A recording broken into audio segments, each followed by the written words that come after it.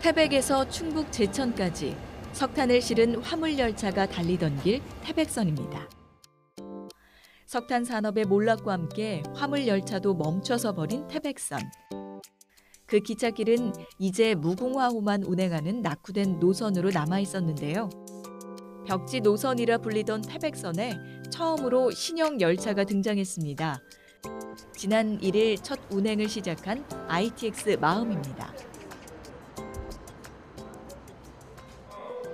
신형 열차가 첫 운행하는 날, 그러나 태백역은 아직 혼란스럽기만 합니다.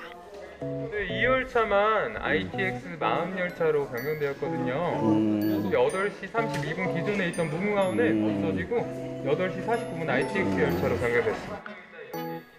새 열차 도입에 대한 부족한 홍보로 이용객들은 여전히 혼선을 겪고 있었습니다. 이 차 시간이 이리 변동이 되나니까 막 혼동이 돼가지고 자꾸 물어보고 되는구만. 지금 현재 이 열차가 ITX 그 마음으로 바뀐 거에 대해서 정확하게 아시는 분들이 아직 많이 홍보가 되지 않아서 지금 현재로서 많은 애로사항이 있습니다. 그래서 우리 직원들이 저작권을 판매할 때 일일이 고객님들한테 안내를 해드리고 있습니다. 청량리로 가는 ITX 마음 1192 열차를 이용할 고객께서는 타는 곳 2번으로 가시기 바랍니다.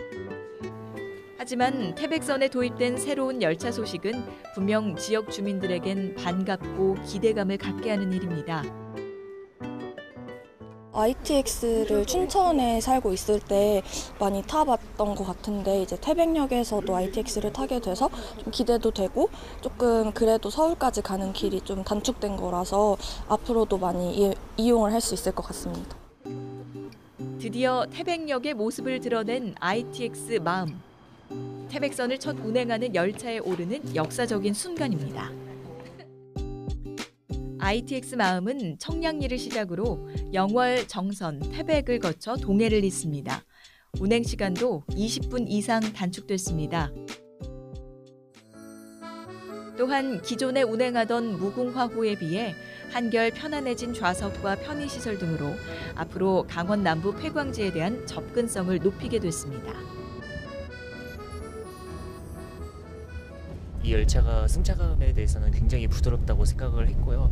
콘센트가 기존의 벽면에 있는 것보다 일단은 그 의자 사이에 이렇게 끼고 사용할 수 있는 거는 전 너무 마음에 들었다고 생각을 하고요. 해결하지 못한 문제도 있습니다. 손실 보전금은 폐광 지역이 부담하는데도 노선에 경기도가 포함돼 있기 때문인데요. 당분간 논란은 이어지겠지만 새 열차는 분명 새로운 희망도 가져왔습니다. 강원 남부 지역의 교통망의 확충은 이제 시작이 되었습니다. 교통 확충망을 해서 관광객을 더 많이 유치하고 스포츠 대회도 더 많이 유치가 될 것이고 어, 열차와 고속도로의 교통망 확충을 해서 우리 태백시에도 기업 유치를 해서 우리 후배들에게 기업의 잠바를 배지를 입혀드리겠습니다. 벽지 노선이라 불리던 태백선에 도입된 ITX 마음. 비록 여전히 해결하지 못한 문제가 남아있지만 이 열차를 통해 수도권과 한 발 더 가까워진 만큼 해광 지역의 경기에 큰 도움이 되길 기대해 봅니다.